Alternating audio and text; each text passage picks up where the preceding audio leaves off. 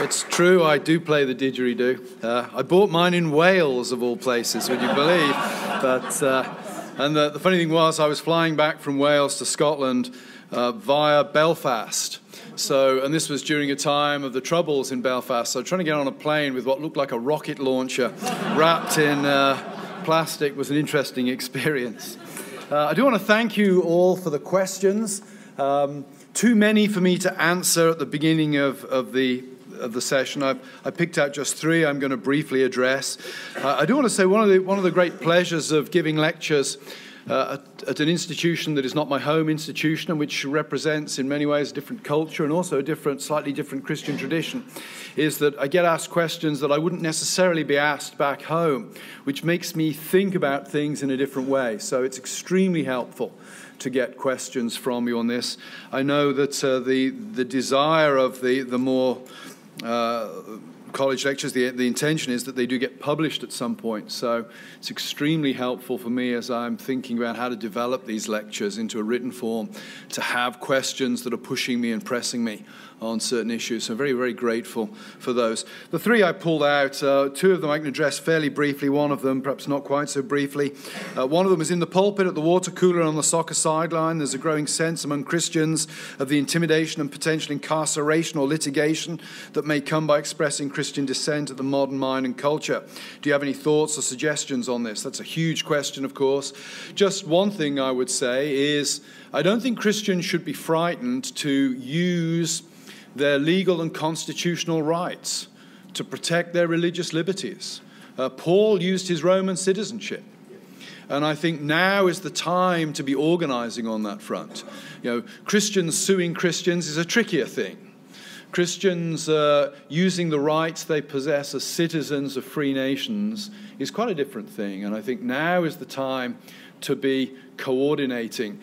I don't know how it's going to work out in Australia, but I think in America what will happen is that religious liberty will be closed down, first of all, through uh, getting voluntary organizations that receive government money, then through colleges that receive government money and accreditation, and then the churches. That's how I think it will go.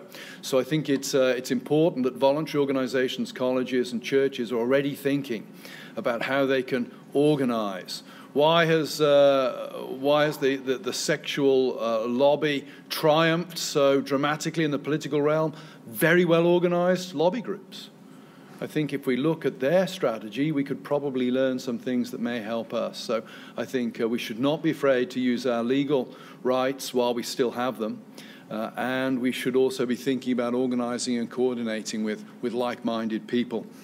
Um, secondly, In terms of the categories of the modern mind, psychology, technology, aesthetics, and historical, how much of it seems to be about identity? What interplay does identity have with idolatry, and how does the Bible, the gospel, speak into that? Not going to address the whole of this question. All I would say is that there are, you know, there are legitimate identities. We all possess various identities parents, children, uh, patriots, uh, supporters of football teams. There are all kinds of identities that we all possess. I think what the Bible warns us against is making any of those identities uh, the absolute foundation of who we are. I was thinking, as I, as I was thinking of answering this question, Matthew 10 37 came to mind. Whoever loves father or mother more than me is not worthy of me, and whoever loves son or daughter more than me is not worthy of me. I don't think Jesus is saying there that uh, mothers and fathers shouldn't love their children and children shouldn't love their parents. Uh, that's entirely appropriate. Those identities are legitimate. What he's saying there is that those identities must not become so important uh, that they end up supplanting the Lord Jesus Christ in one's identity or fracturing his kingdom uh, in some way. Um, last, uh, the last one, this is perhaps a more complicated, but in some ways very interesting question. If the aesthetic has replaced moral outrage, how do we make sense of the modern outrage that still exists against things like human trafficking, rape, terrorism, and the last taboo, which uh, I mentioned yesterday, was pedophilia?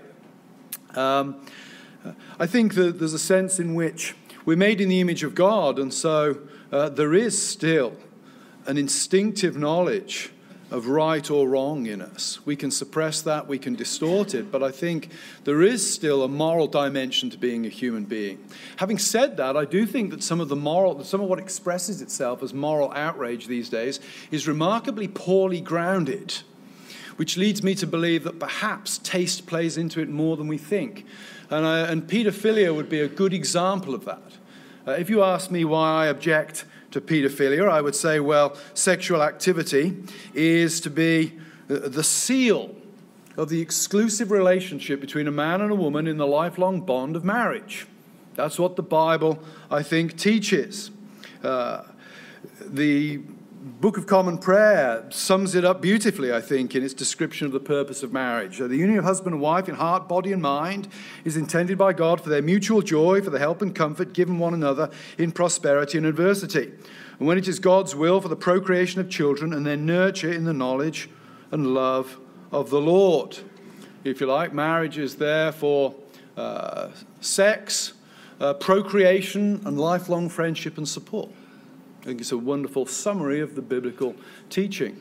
Uh, so, why do I object to paedophilia? Because it is uh, yet another example, perhaps an extreme example, of an abusive use of God's gift of sex outside of the context of marriage for which it's intended. The problem the modern mind will have with that, of course, is that it's reduced sex to a fun recreation that brings pleasure to the party engaged in it. Uh, why does the modern mind object to paedophilia? Well, I suspect probably the answer is going to come back because it's forced on the child against their will. There's no consent. Uh, problem with that is, of course, we force children to do lots of things to which they do not willingly consent. Sent my kids to school. Uh, they didn't consent to that. Made my kids eat vegetables. They didn't consent to that. Now, that may sound like I'm trivializing it, but I'm making the point that consent is not sacrosanct in law. We routinely make children do things to which they do not consent. So, why do we section out sex with an adult as something that shouldn't be imposed upon them? Well, then I think we come down to debates about harm. And one might then make the case that, well, the problem with, with paedophilia is that uh, it's the sexual appetite of an adult wreaking harm on a child. But the problem with that is we also allow that in society. Adultery is not illegal. Adultery is the result of the uncontrolled sexual appetites of adults.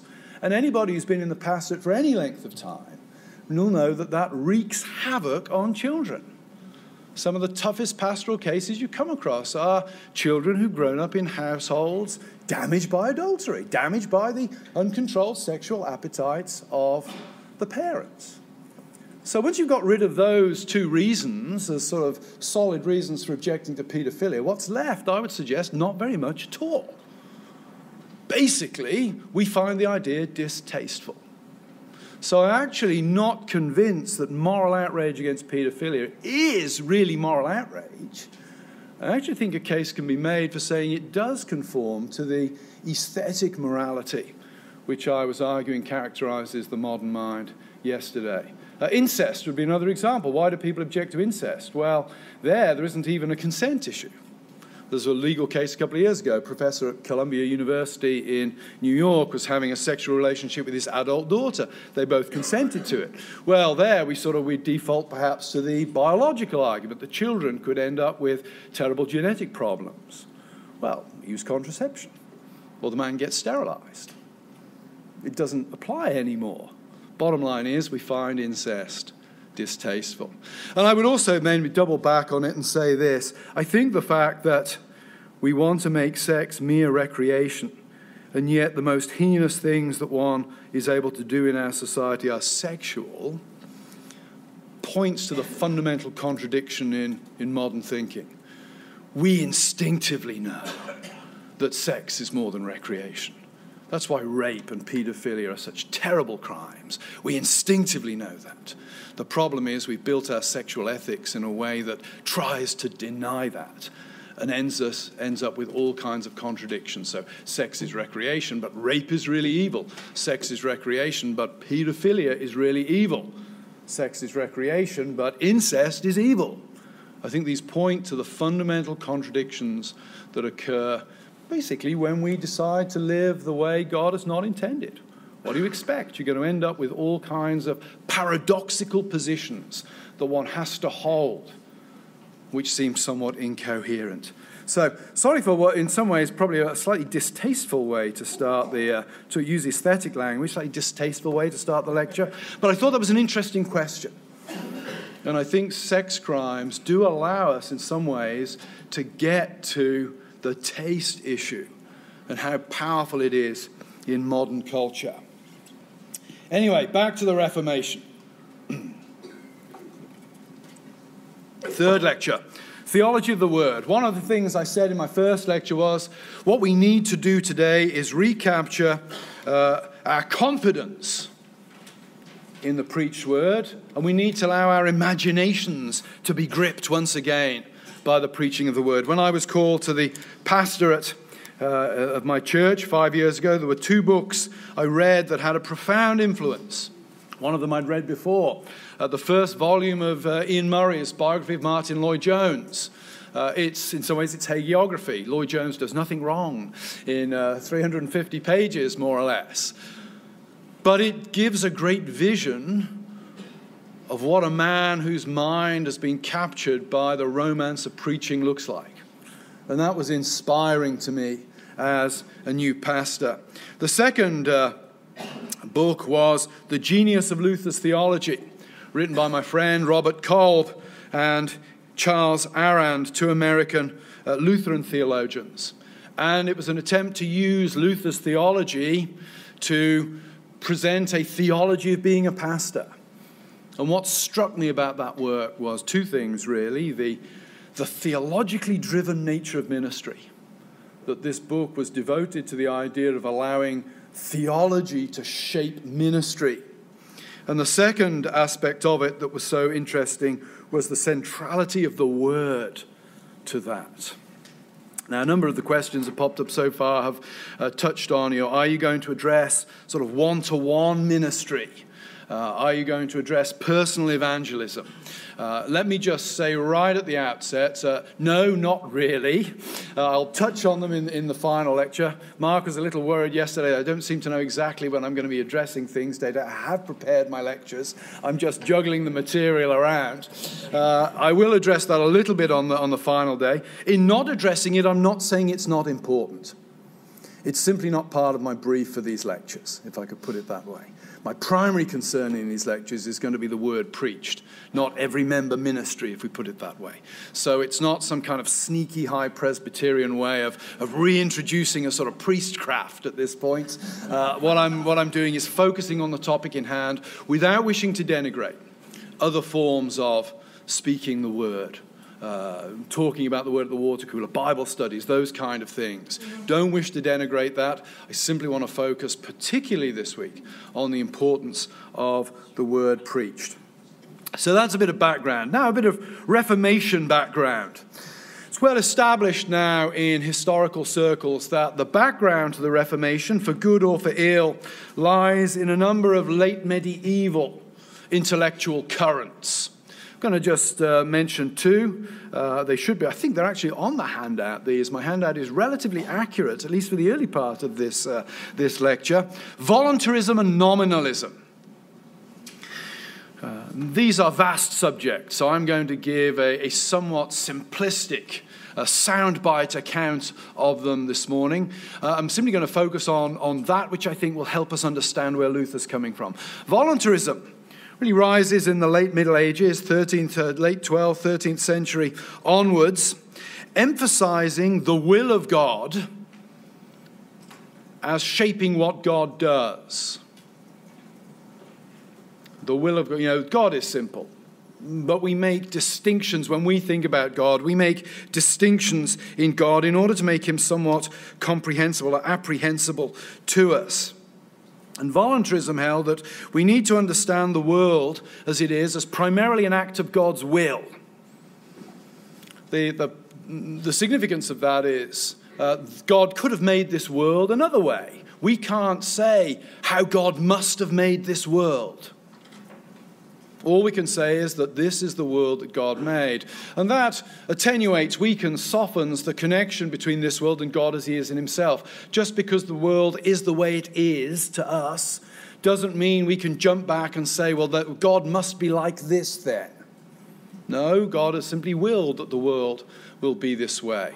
It's kind of epistemological point, really, to limit our knowledge of God, to inject a kind of modesty into the way we think about God, to limit what we might call natural theology. The limits of natural theology are somewhat restricted when you have a voluntarist view of God.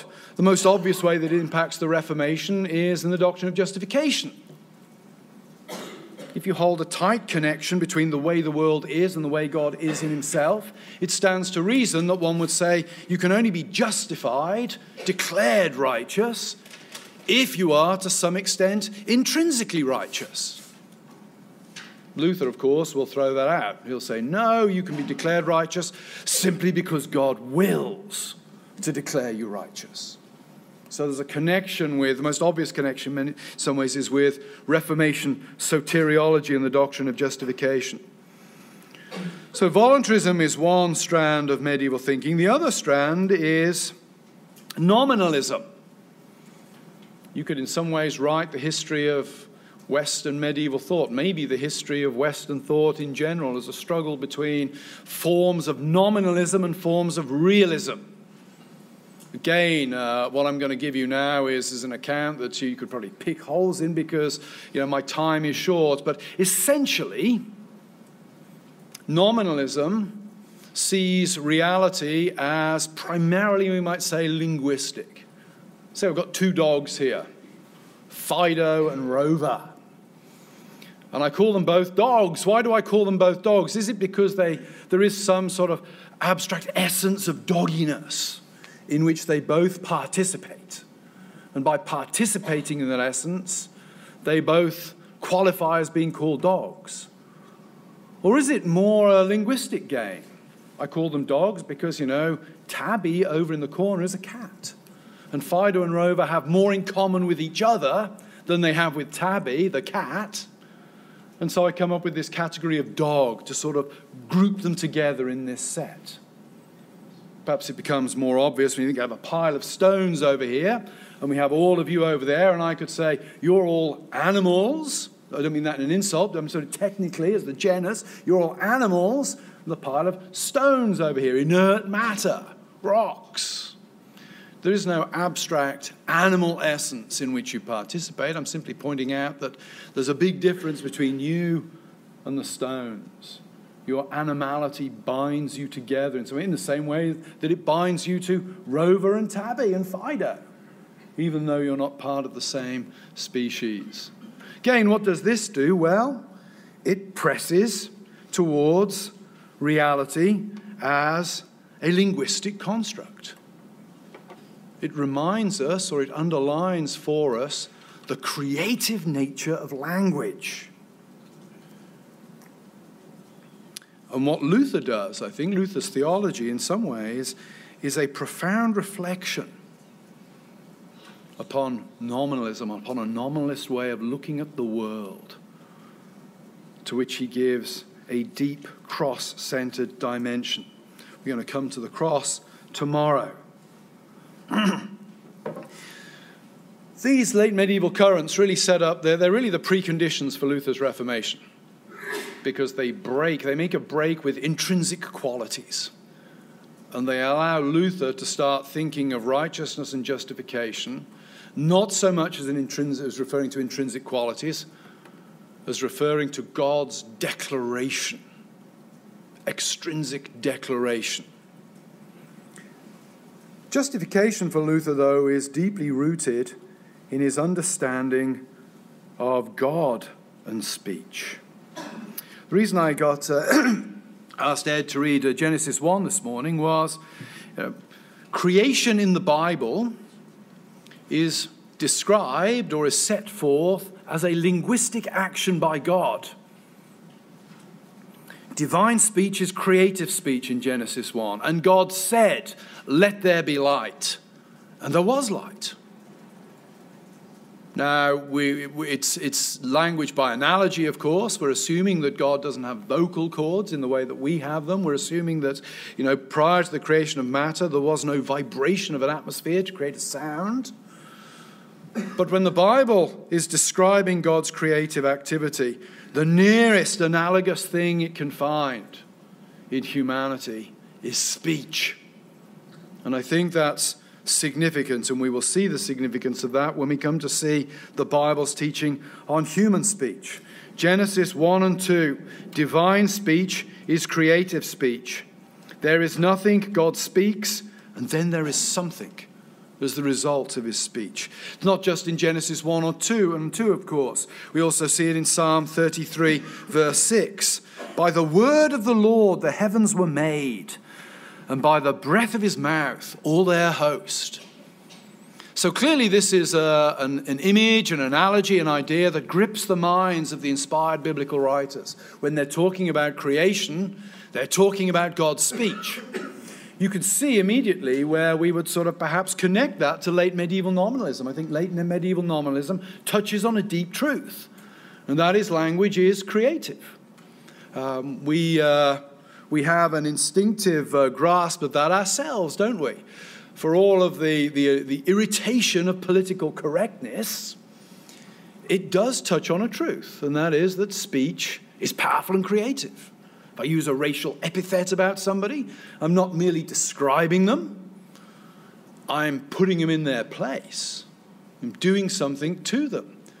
Rather amusing uh, in a sort of 21st century way. Twitter exchange was sent to me this morning. Somebody had tweeted yesterday, a very trendy left wing person, you know, I welcome my, to my LGBT, to my trans, sorry, to my transgender brothers and sisters.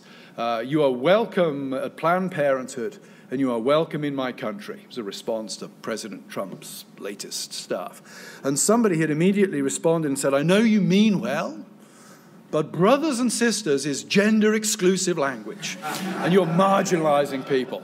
And I was thinking, well, you know, uh, those whom the gods wish to destroy, they first drive mad, of course. But there's a sense that that person is pointing to a truth. And that is that the language we use is constitutive of the language of the, of the world, the reality we inhabit. We all acknowledge that at some level. There are certain words we don't like to hear, there are certain words we won't use because we know of their creative power.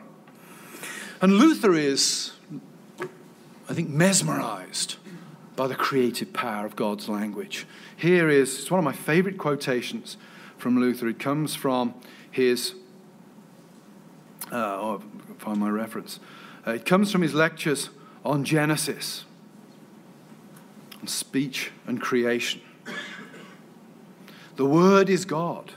It is the omnipotent word uttered in the divine essence. No one heard it spoken except God Himself. That is God the Father, God the Son, and God the Holy Spirit.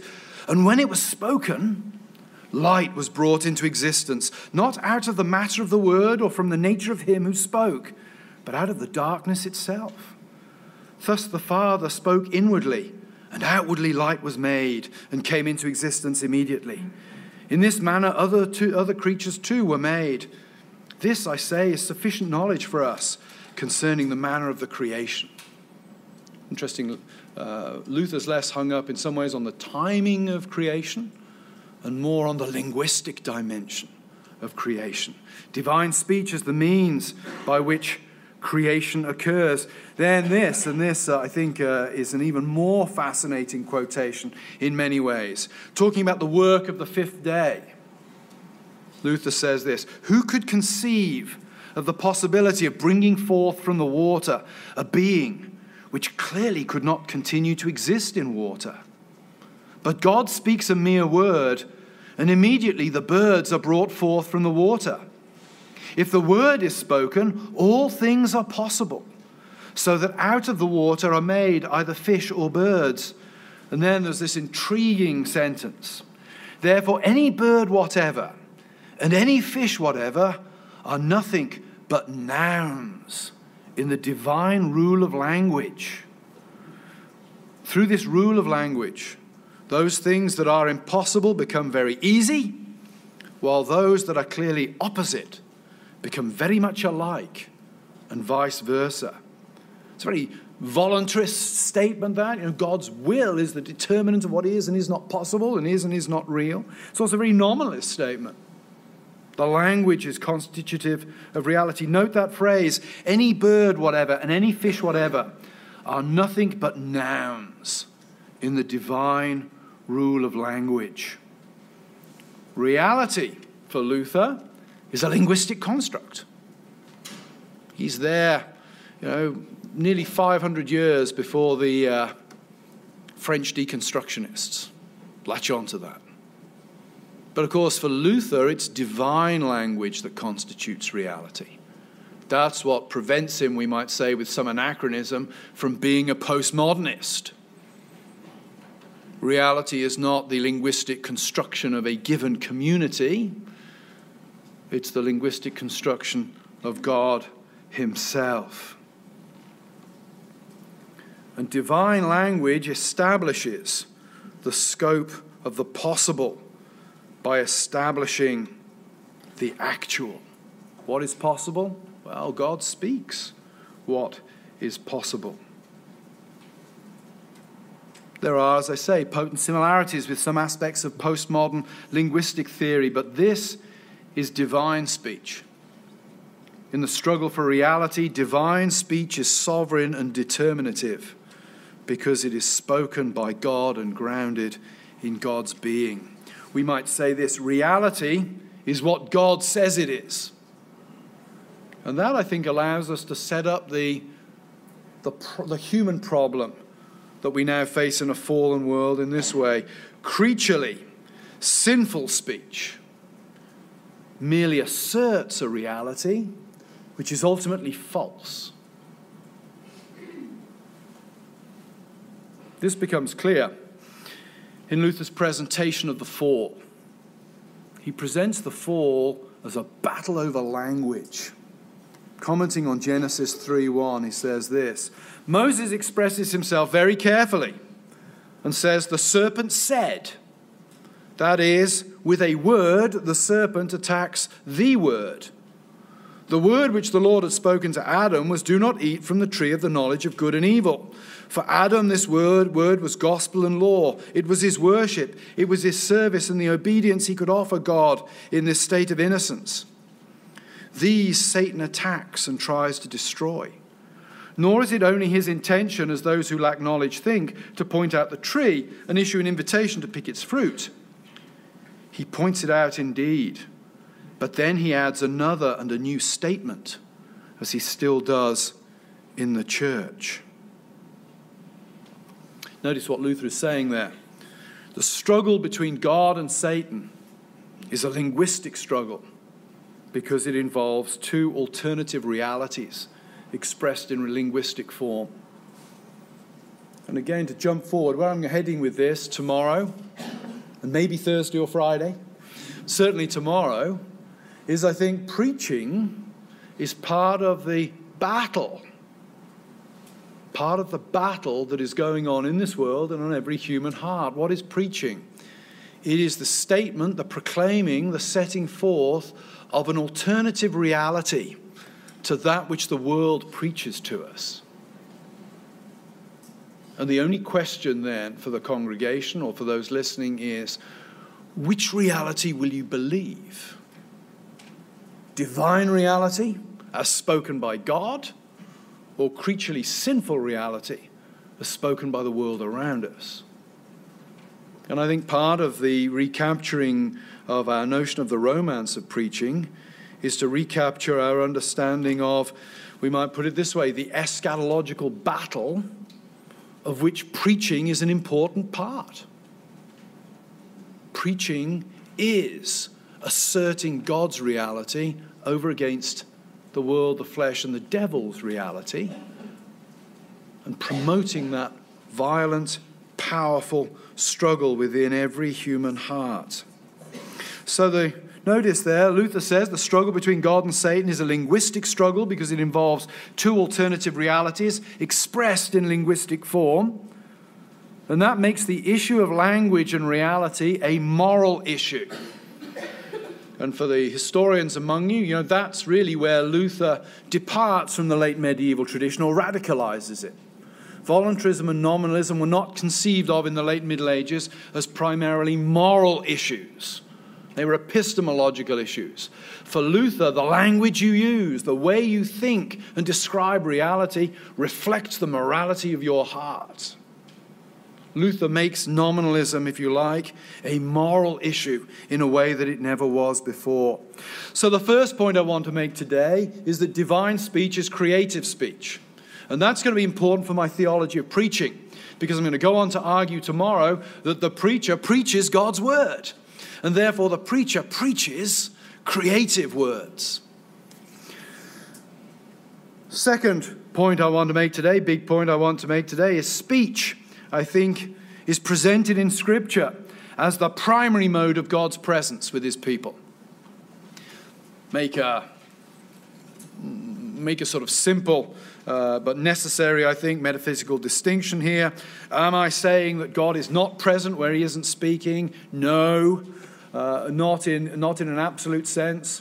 Uh, God sustains all things, but God, we might say, is only actively present where he speaks.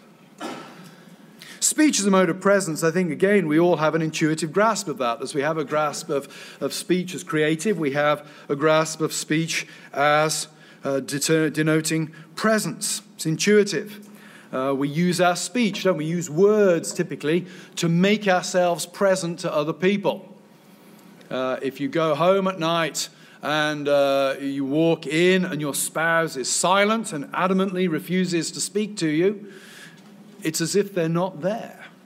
You know you've done something wrong. It's as if they're not there. When I'm traveling, uh, my wife and I, we, we love to, to get the occasional text or email from our sons, but nothing beats calling them on the phone. Love to hear the sound of the living voice. You know, they may be 10,000 miles away, but when you hear the voice at the end of the phone, they're more present with you. They're more present with you than they might otherwise have been. So we have an instinctive understanding, I think, of language as denoting presence.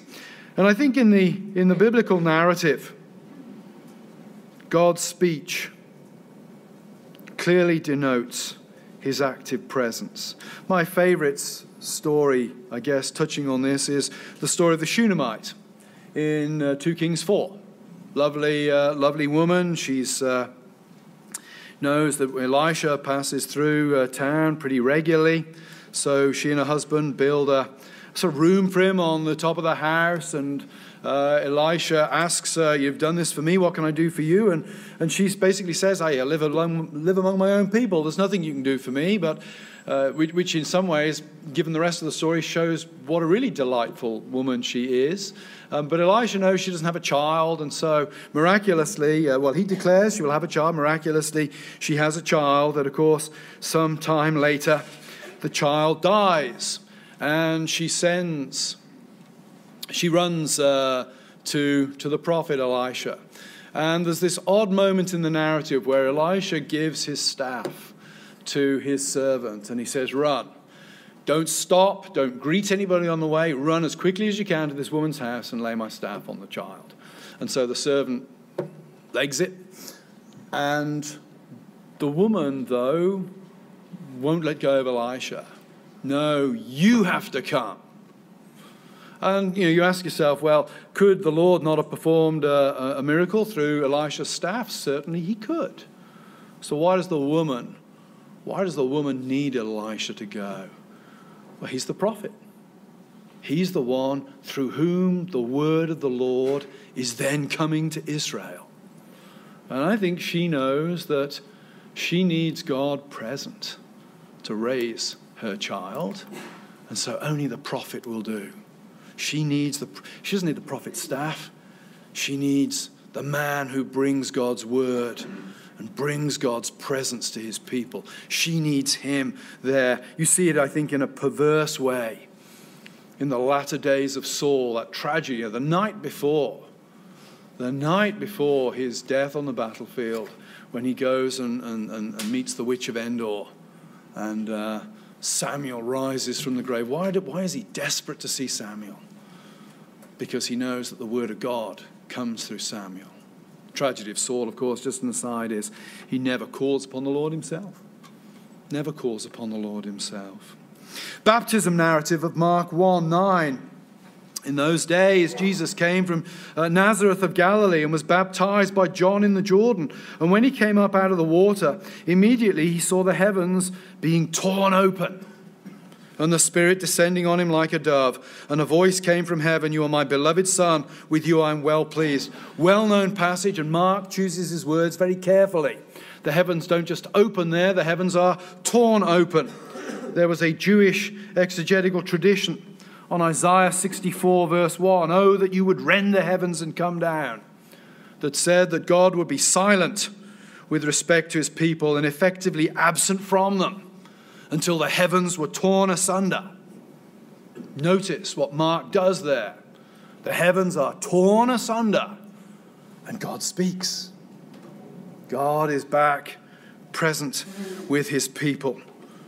Mark's language and the fact God speaks, his presence and his speech are profoundly coordinated, as Mark indicates that this prophecy is being fulfilled in the presence, in the hearing of those who are standing there that day. Notice in Acts, Christ ascends, the Spirit comes, and immediately what happens? The apostles are marked by speech, tongues, language which communicates the gospel to the very eclectic crowd that have gathered there. Suddenly, God is present with those people from all over the Mediterranean world. Speech, I think, in the Bible is the primary mode of God's presence. Luther touches on this uh, really in his commentary on his, his lectures on Amos. Amos chapter 8, verse 11, of course, is the famous passage. Behold, the days are coming, declares the Lord God, when I will send a famine on the land, not a famine of bread nor a thirst for water but of hearing the words of the Lord. They shall wander from sea to sea and from north to east. They shall run to and fro to seek the word of the Lord, but they shall not find it. And Luther's comment is this I shall send a famine on the land. This is the last blow. It is the worst, the most wretched of all. All the rest of the blows would be bearable, but this is absolutely horrible. He is threatening to take away the genuine prophets and the true word of God, so that there is no one to preach, even if men were most eager to wish to hear the word and would run here and there to hear it. This happened to the Jews in the Assyrian captivity and in the last one. The absence of God's speech there is the functional absence of God Himself from His people. And Luther clearly understands that. So, my second point then God's speech is the fundamental mode of his presence, his active presence in the Bible. Third point the speech of God is the means of God's action in the world. Again, we can do this more simply, but when you think about it, already obvious in the creation, God speaks, and then there are things. God's interaction with this world continues to be mediated by speech.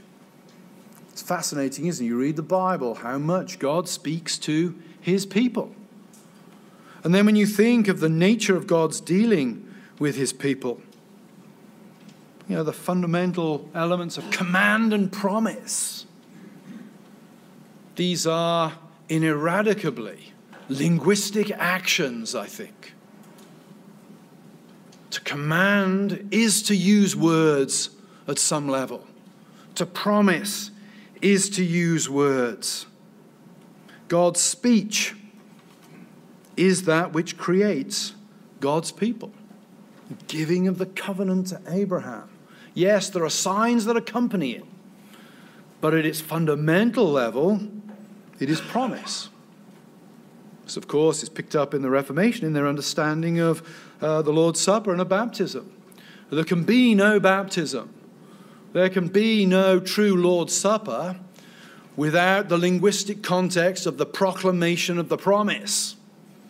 Because otherwise, they are what? Empty signs that anybody can put any meaning into they want. They have to occur within the context of language. To go back to the, the analogy I used yesterday of husbands giving wives presents. You know, if you walk up to a woman you don't know and give her a lavish present without any commentary on it, it's going to look odd. If you give your wife a present, not on a birthday with no commentary, she probably goes, okay, so what have you done? you know, what have you got to explain? You have to go to the linguistic context post hoc rather than uh, pre uh, ante hoc. But the way God deals with his people is fundamentally linguistic. And isn't it interesting, I think? It's fascinating. Uh, the Old Testament guys here would be, be able to do a much better job with this than I can. But isn't it fascinating that the Lord chooses language and he chooses the inscripturation of revelation as his means of revealing himself to his people and perpetuating his revelation to his people through the ages at a very, very early point in written language, and at a point where pretty much every other religion of which we know was hung up with images and idols. You know, we were talking yesterday about the need to be countercultural. Isn't it incredibly countercultural of the Lord to reveal himself linguistically at a time when really, you know, other gods are portrayed by images. I think there are probably a number of reasons for this. One of them is surely this images and idols are manipulable. We make images and idols. Speech comes from outside us and always retains its living relation to the one who speaks, even when mediated through a herald. That's why, to go back to that quotation I gave on Thursday night uh, from the Second Helvetic Confession. We believe that when the Word of God is preached in church by those properly called, it is the very Word of God. The minister preaches with the authority of the one who commissioned him behind him and the authority of the one who gave him the words to speak. When the minister speaks, God speaks to the congregation.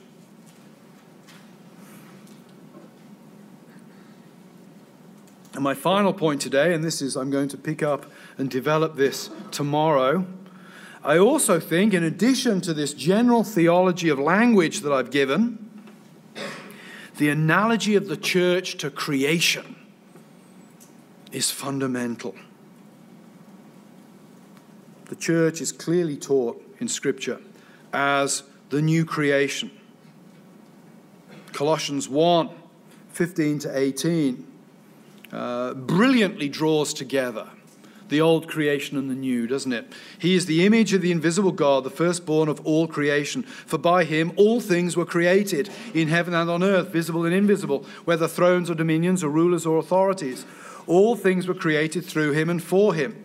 That's the first creation. And he is before all things, in him all things hold together. And he is the head of the body of the church He's head of the body, the church. He is the beginning, the firstborn from the dead, that in everything he might be preeminent. The church has a close analogy as the second creation to the first creation. Christ is the important agent in both of them. And of course, this is then picked up, I think, very powerfully in 2 Corinthians 5 in a way that touches directly upon the case I'm going to try to make tomorrow. 2 Corinthians 5, verses 16 to 21. Paul, again, I think he builds on the logic of the cross. He talks about not regarding uh, people according to the flesh. But then he goes on and he picks up on Isaiah's language of new creation. And he talks about the new creation in Christ. Uh, even though, uh, if, therefore, he says, if anyone is in Christ, he is a new creation. The old has passed away. Behold, the new has come. I think Paul there is building on what he's assuming will be the knowledge of his readers of Isaiah's language of new creation. The exile is coming to an end, the exile is being ended in Christ. There is a new creation here. And what is the practical payoff for Paul as he reflects upon this? Verse 11, we seek to persuade. Verse 20, we implore you on behalf of Christ, be reconciled to God. Which is a fascinating statement, of course, because he's writing to Christians and he's imploring Christians to be reconciled. I think there he's bringing out the dynamic power of the word. You are reconciled, and every time you grasp the word, you are reconciled again. The new creation for Paul leads him to do what? To speak. You persuade by speech, you implore with speech. Because the church is the new creation, there is a linguistic act involved in it preaching, pressing of the word on people.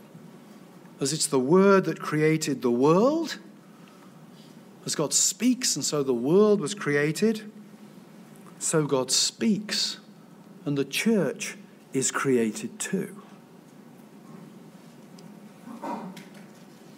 So, a couple of implications of, of that analogy, and then a brief summing up.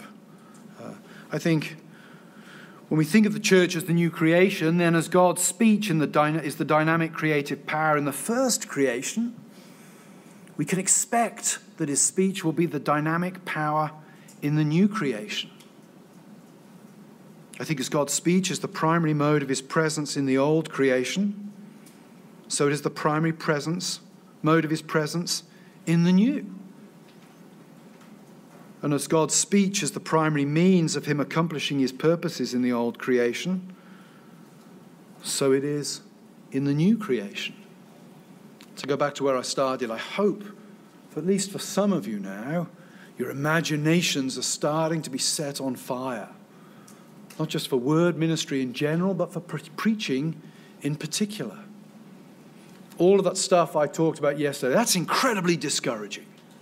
That's incredibly discouraging stuff. The whole tide of the culture and all of the engines that drive culture seem to be flowing against us at this point. But when Paul uses that language in 2 Corinthians of new creation, he doesn't talk about Christians and the church being like a new creation. He says they are a new creation. That is incredibly powerful language. And the agents or the means of that new creation is the Word of God. There is nothing more powerful than the Word of God. The Bible, I think, clearly teaches that. There is nothing more powerful than the Word of God because it is God who speaks that Word. And it really doesn't matter what documentaries ABC put on. It really doesn't. It really doesn't matter how many persuasive sitcoms are insidiously presenting an aesthetic reality that bears no resemblance to God's real reality. The Word of God is powerful because it is God who speaks it. It was powerful enough to bring the universe into existence out of nothing. It is powerful enough, I think, to deal with the various cultural pathologies that we face today. So, what I want to do tomorrow is move on and, and, start to think about how this impacts our understanding of preaching, and indeed, of, you know, if you want to think about one to one ministry, it's still the Word of God in one to one ministry. And I hope that it's giving you confidence uh, when you go into a pulpit or when you speak to people that, well, ultimately, it doesn't depend upon your power. It depends upon the power of the one who speaks through you. So, tomorrow we will look at uh, the theology of the word preached. Uh, and then, depending on how far we get with that, will shape what I do on Thursday and Friday. But, uh, thanks for listening so patiently.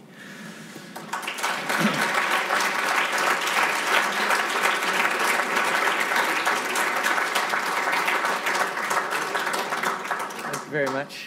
Dr. Trueman. So uh, we now have time for questions.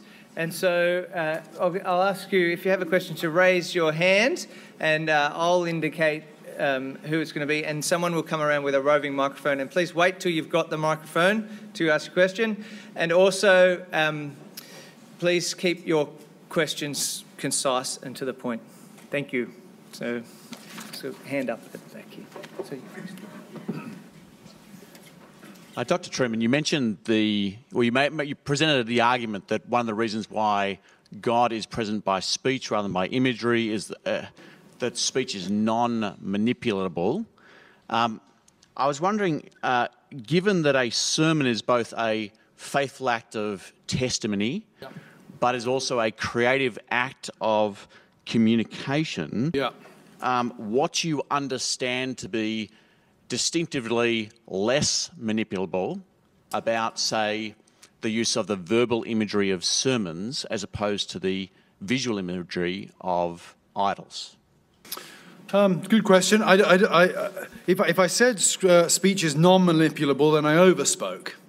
First of all, I would qualify that by saying I think that speech can be manipulated. We, we talked about post truth briefly yesterday. We live in a world where speech is manipulated, and clearly Satan or the serpent is the first great example of that. So, just a, a quick qualification. I do think, though, that words have a stability to them that images and pictures do not. Uh, and I think that's the reason why human society is primarily constituted by the use of language. Um, if you want to communicate, people say a picture saves a thousand words. Well, maybe, but pictures are often ambiguous. Pictures often require us. I mean, think of the, uh, the Mona Lisa. Why is she smiling? I mean, who knows? But if Leonardo had left us with a, a piece of paper uh, telling us why she was smiling, then we're really left with just one choice do we believe him or not? So I think that, uh, that language is inherently less manipulable. I think I didn't say this, I'm going to talk about this a little bit tomorrow. I, I do think that language is part of the image of God in us. It's one of the things that separates us from every other creature on the face of the globe. And I do think that language, while it can be manipulated, is not necessarily as plastic and as flexible as some of the more cynical literary critics would have us believe, who, of course, as it's always pointed out, try to communicate their own thoughts using language rather than pictures or, or other media. So, without necessarily being able to give a very scholarly answer to that question, I think we intuitively know that language is less manipulable, less ambiguous than pictures. And typically, where a picture is not ambiguous, it's because we have some grasp of the linguistic context of that picture. Cross would be, a, you know, just think about it, cross is a great example. Is it an item of costume jewelry? Is it the, the slaying of a, a criminal in the first century? Or is it the power of God to salvation? You can't tell just from looking at the cross. You can only tell when words are attached to it.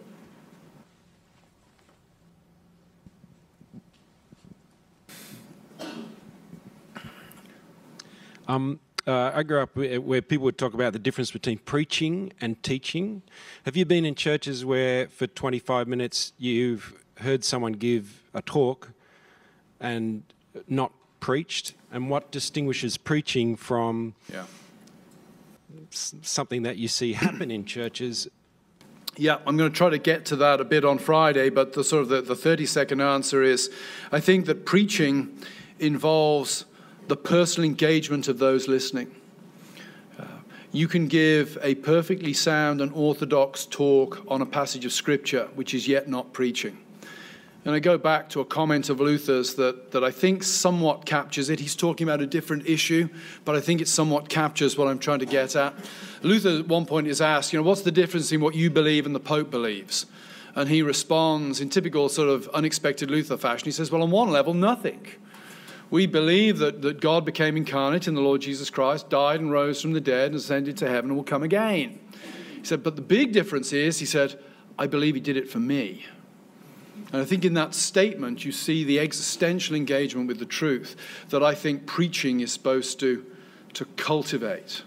Um, I think it is very helpful, for example, when a, a preacher, and I, am not very good at this myself, I confess, but I, I think it's good in the opening paragraph of a sermon for the preacher to let everybody in the room know that what they're about to hear is of importance to them. It's going to be a personal importance to you. If you're a believer or if you're an unbeliever, it's going to have importance for you. So I think that would be where I would make the difference between preaching and lecturing. You can have very passionate lecturing, which is yet not preaching. Uh, preaching involves, I think, ultimately like, the demand for a decision. Will you have this man to rule over you, if you like? Preaching always presses to that point. Not simply, hey, this is true and isn't a great story, but it presses home that demand. And one of the, certainly in my own, the Westminster tradition of redemptive historical preaching, the note I often find missing in student sermons is that note. They think that they've done their task if they go to the Old Testament and show how it, you know, hey, this passage points us to Jesus. You, know, you preach through judges and it becomes, hey, this judge failed, but don't worry, Jesus doesn't. Well, what's the, so what? So what? I think it's that so what question that separates preaching from lecturing. Oh, sorry. Um, Carl, you touched on. Sorry, I'm just trying to get my notes. You touched on how Luther wasn't so hung up on the timing of creation, more on the divine nature of it. Just from your understanding of what Luther wrote, um, does he consider Genesis 1 description of material or functional origin? Does it matter? In terms oh, I think he's a six day creationist. Okay. I think he believes in six day creation, but it's not a big issue. You know, his interest in the lectures is on the, the creative component of it. Uh, Mark might know better than me, but I, uh, as I read him, he's a six day creationist. Uh, but it's, it's not quite the political issue in his day that it has become in ours in some, some quarters. Thanks very much, Carl. Um, you said that God is only actively present where he's speaking. And uh, there's been a lot of traditions that have tried to approximate the Spirit's presence in the Christian life and, and what Spirit's work is in the Christian experience. Can you talk about how uh, God's speaking being his active presence correlates with the Spirit's presence in the Christian yeah, life? Yeah, I, I think I'm with Luther on this. Where the Spirit is present, the Word always has primacy. So, language about Spirit led experience being coordinate with the Word of God. Yeah, to me, that's crazy talk. Uh, that's what the Schwärmer in Luther's day, we'll talk about a bit tomorrow, we're, we're, we're thinking about. I think the Spirit of God always brings us back and regulates us by the Word of God. I was very influenced by Jim Packer's great analogy, talking about the, the role of spirit and word. You know, if you go to a, a rugby game of an evening and uh, the floodlights are working, you come home talking about the rugby game. The presence of the floodlights actually means the game is the, the key thing. If you go to a rugby game in the evening and the floodlights aren't working, you come home talking about the floodlights uh, their absence actually makes them the center of attention. And I think spirit and word are like that analogously. That yes, God works by his spirit through his word.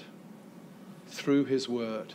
So, you know, Mark and I were talking just yesterday, uh, the, the topic of the, you know, we need to take into account the, not Mark wasn't saying this, somebody else was saying this, we need to take into account the spirit filled experience of the lesbian and gay community my answer is, would be to that yes.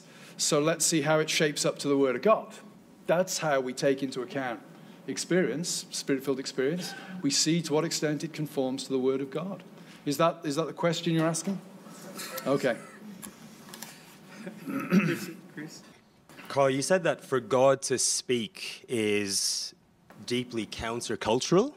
I just wondered what you'd think about God using language, which in itself is in some way a construct of culture, and also isn't the incarnation a deeply cultural act in that sense? Uh, yes, uh, self evidently, but I don't think that relativizes language, if I could put it this way. Is, is, that, is that what your point? I mean, I know there are cultural aspects to language.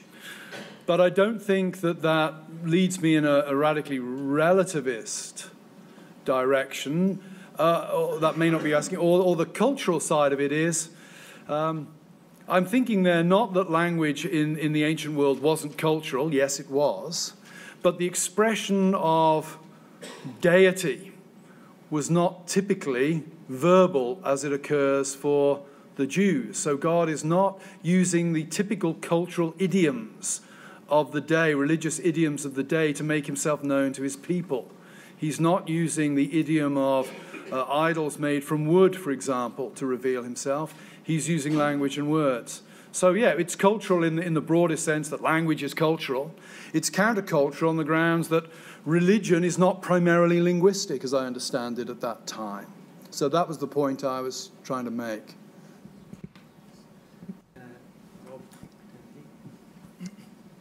Could you comment a little more on the critique of the voluntarist nominalist sort of roots of Luther's theology that it leads to an arbitrariness in God's will and an agnosticism about God's person? Yes, and, and this is what Calvin says in the Institutes in a, in a very embarrassing passage where he clearly doesn't know what he's talking about. You know, there aren't many of those in the Institutes, but he criticizes some medieval distinctions and then goes on to basically assert their content in more or less the next paragraph.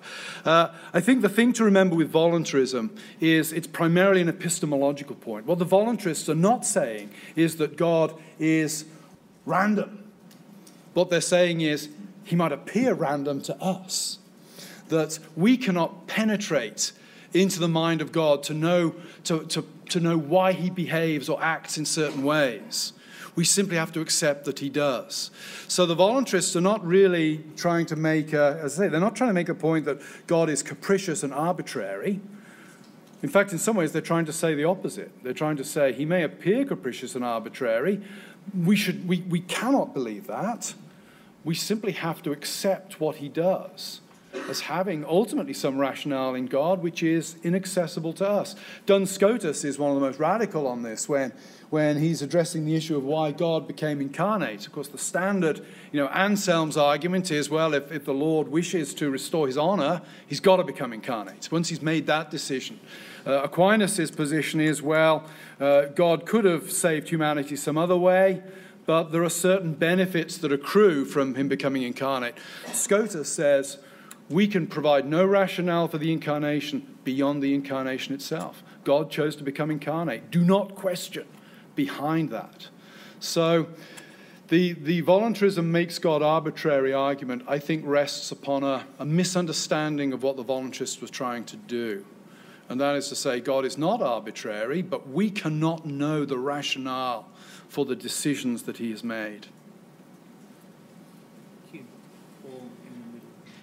Um, am I allowed two questions, or are you only give me, give me one?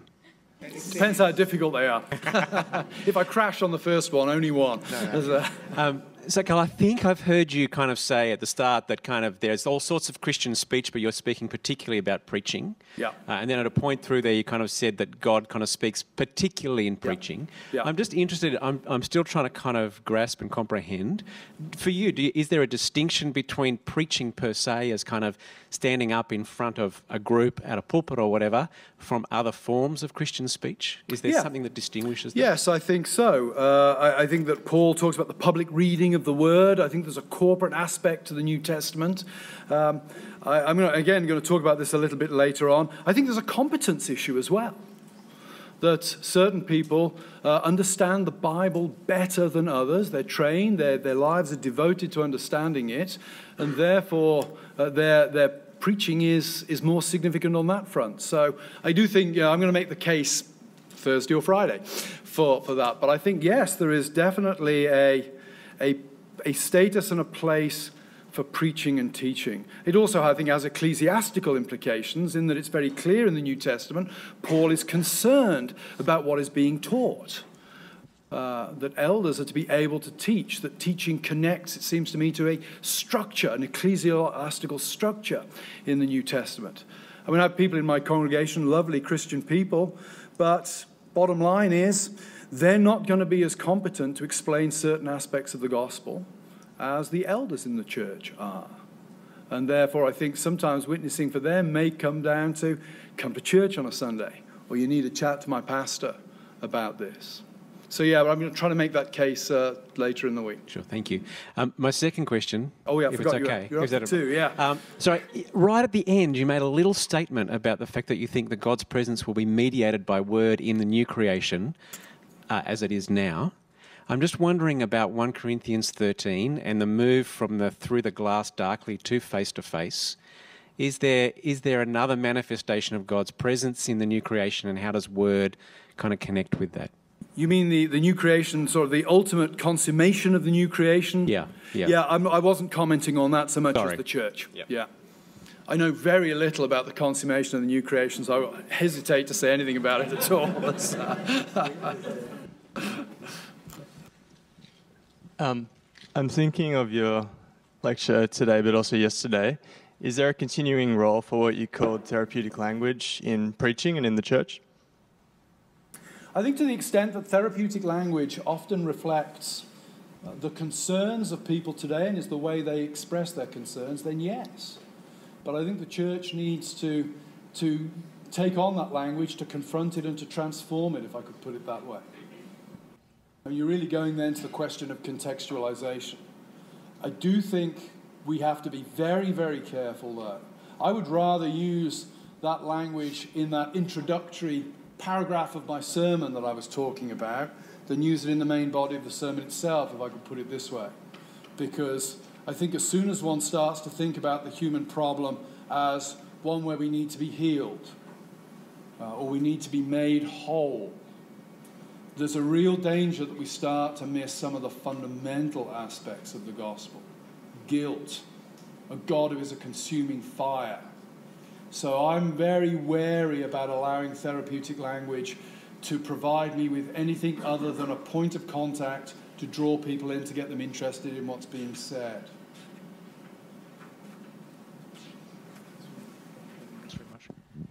I'm monolingual, and God has to speak to me through English, through the filter of English. How can the prism of Hebrew speak more clearly to the un-Hebrew trained mind? Has Hebrew got a deeper root in God speaking to us than just the English that we have to use?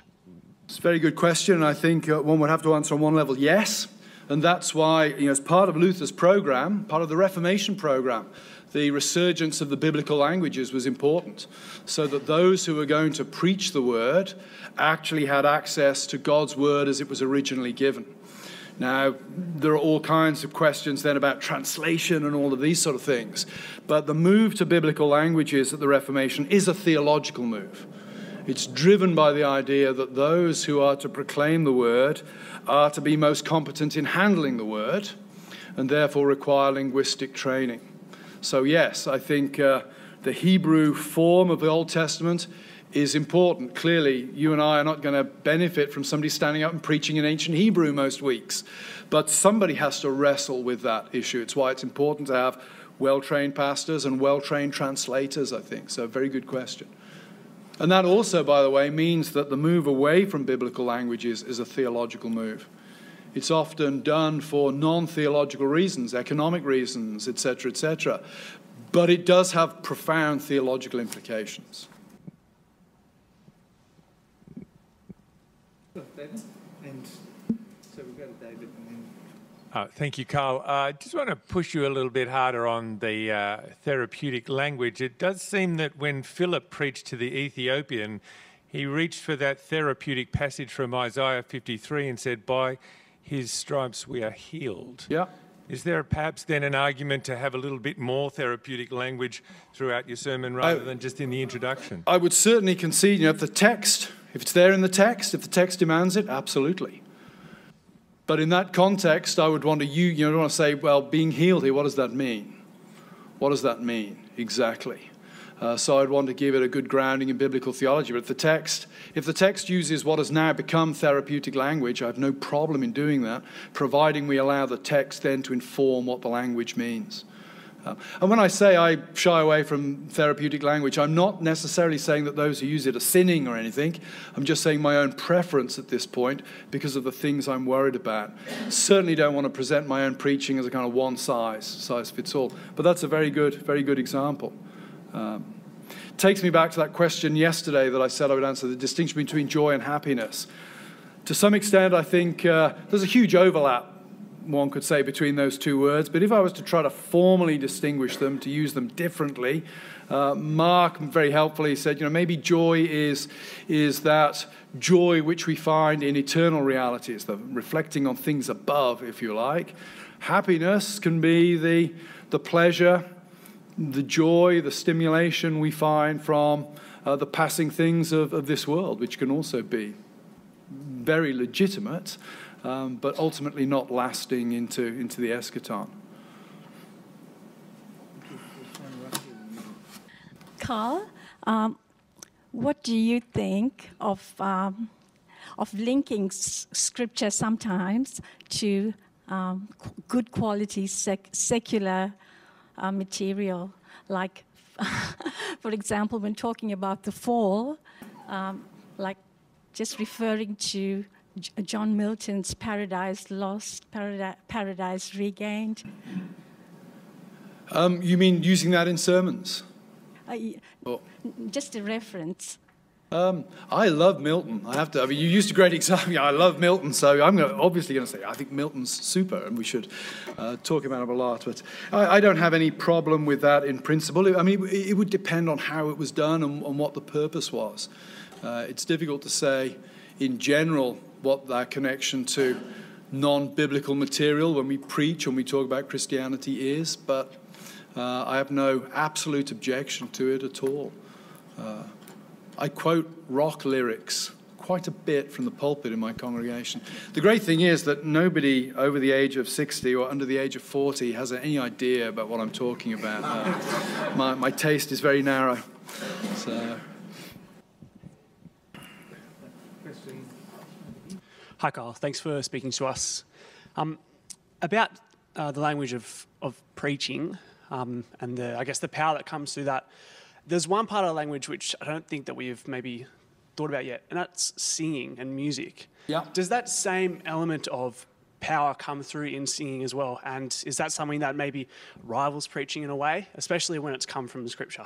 I think the, you're making there a gr- This is something I've been thinking about recently because there are two things I think that even physiologically separate us from every other species on the face of the earth uh, our ability to use speech and our ability to appreciate and hear music.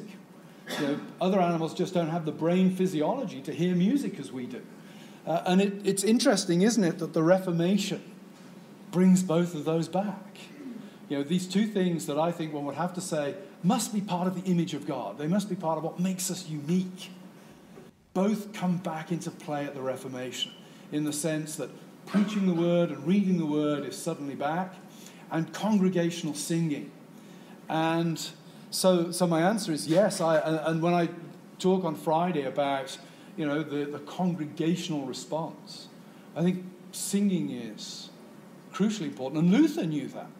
Right from the early 1520s, they're starting to put together hymn books in, uh, in Wittenberg. And for those interested in contextualization, it's a fascinating story in that Luther is, there's this, though there's not much uh, in the church, it was generally choirs that were heard in the Middle Ages. It, was, it wasn't congregational participation. There was a strong tradition in Germany of kind of religious folk songs. And in the early hymn books in Luther's Wittenberg, what he does is uh, they use a lot of the tunes of these traditional German folk songs so that the people are familiar with the forms. And then they even use some of the traditional folk songs, but tweak them. You know, they get rid of the bits about Mary and the saints and put Jesus and the cross in.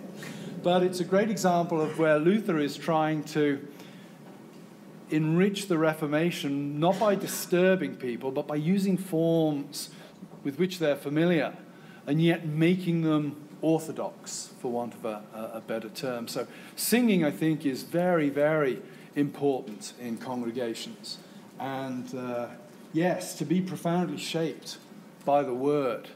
It's why psalm singing was so important in the Reformation. Even, even in Luther, you know, Luther's known as a hymn singer, but they sang, they had psalms in their earliest musical uh, hymn books that were translations of the psalms. So singing the word of God, I think, is very, very important.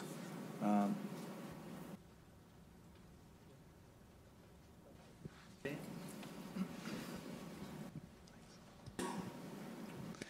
Pardon me if this is a little bit um, not thought out. Um, I was really taken by something that you said about the need for linguistic contexts um, in the face of the ambiguity of images. And I was just kind of thinking a little bit about that um, and the way that you then took that to kind of talk about the primacy of the word. Um, there's a couple of different things going on in the Bible that kind of jump out at me as, as problematic in that. So in the creation, you have both word and image. Um, you have a, a, linguistic context given to an image that's placed in the middle of the creation. Um, but at the same time, it does seem like the image is somehow kind of the, the fulfillment or the kind of coming to its kind of fruition of the word. Um, and then the same thing in the incarnation, where you have um, God Himself coming in person in a linguistic context that makes sense of that. Um, I wonder if you could kind of comment on that. Like, you seem to be kind of letting the image stuff drop out there in a way that makes the incarnation seem a little bit kind of strange, like a little bit of an aberration from God's mode of presence and mode of action. I, that certainly wasn't my intention. Uh, and I think in what you've said, I, I don't find anything really to dis. I mean, you, you, you kept saying the image has a linguistic context, which is sort of what I was trying to say myself. I mean, the Lord's Supper, for example, has the context of promise. I think the incarnation has a linguistic context. It's why we have the New Testament. It's why we have the Old Testament leading to the incarnation. We need to understand the narrative and the story that culminates in the incarnation in order to understand the significance of the incarnation. In order to know that the cross is not an offense or foolishness, we need to know what we can assert about it. I guess then my question is about the movement in the other direction. So agreeing about the importance of the linguist, yeah. linguistic context, can you can you can there be a danger of letting the image drop out of kind of actually promoting the primacy of the word there in a way that actually makes it not have its connection to its infleshedness in some way? Yes, I think that I, I, think that that can definitely be a danger. Um, again, I'm not trying to present a sort of zero sum game where, hey, if you emphasize the word, you mustn't emphasize anything aesthetic. I'm simply trying to set them in their proper context. And I would look, you know, to the architecture of a classic Reformed church where you don't just have the pulpit, you also have the table with the elements, and you have the, the baptismal font. You have the pulpit higher than the table and the baptismal font to make a theological point but it's not that the table and the font are absent. So, yes, is there a danger that we can, uh, we can eclipse uh, the materiality of the sacraments by an overemphasis on the word? Yes, I think so. I think Zwingli tends that way in the Reformation. Of course, Zwingli's Reformation is the least aesthetic of all the Reformations. They get rid of all stained glass, they get rid of all music in the church. It is a profoundly exclusively word, wordy Reformation. Uh, and I'm not a Zwinglian. I would have to say that's, that's wrong. That is an overreaction to the, the medieval context. So, yes, it's definitely a danger. The pendulum can always swing too far the other way. I don't think in classic Reformed theology, properly understood, it does. But it is, if we, if we have a weakness or a tendency or a danger or a temptation to avoid, that's probably the one.